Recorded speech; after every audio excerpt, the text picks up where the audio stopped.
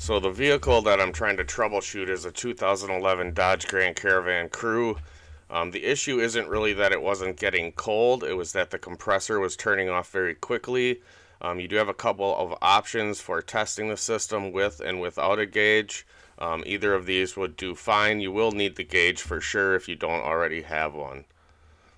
Low pressure port on this system is located near the firewall in the center. The actual problem here wasn't that it wasn't getting cold, it was that the compressor was going off and on very frequently, and yes, it is supposed to cycle, but not every few seconds. So I am in the green, um, but it is jumping a lot, and that's hard on the compressor.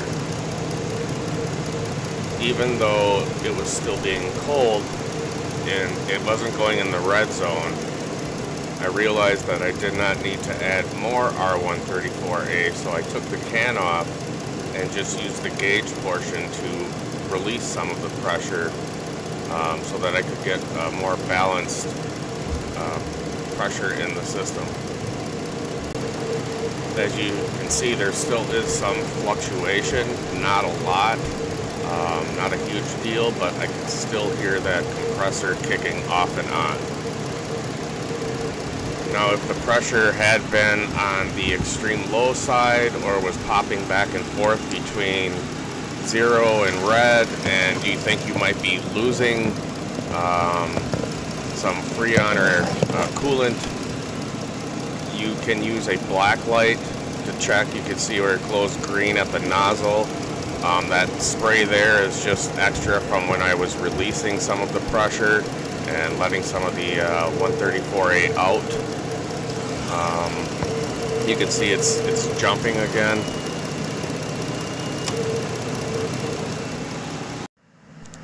This vehicle has a front and a rear um, AC system. Uh, it is about 85 degrees outside, so 48 isn't bad at all. If it was closer to 70, I might be down to 40. Uh, it's really dependent on outside ambient temperature. These two systems run kind of independently. You can uh, control the thermostat for either the front or the back.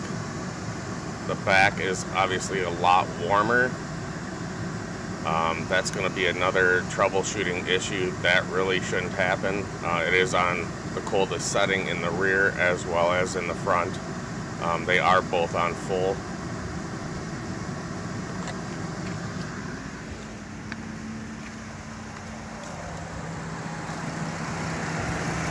Here you can see the towel that was just coupled under the bottom of it. There is a trigger on the back, so you can just pull that trigger and it will release uh, some of the 134A from the low pressure side.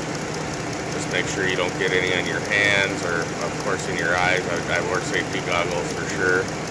Um, after letting out almost, it seemed, uh, a half a can, it started to actually stabilize around 30. Um, with no more jumping going on. So that's kind of what you want to see is just a nice, steady um, position on the gauge. It did get a little bit warmer uh, as I let some of the Freon out, um, or actually 134A. Uh, most vehicles don't use Freon anymore. Um, but it still was very cool and it was a uh, uh, quite a warm day. So as you can see, uh, that rear system has, has got some issues that need to be addressed. I did eventually find out that they had tied off the rear system and probably never released any of the uh, 134A from the system when they tied it off.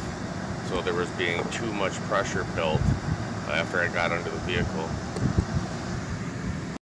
I think the most important takeaway here is not to assume that you're low on 134A. Make sure you've got a gauge and a thermometer so you can accurately assess the system.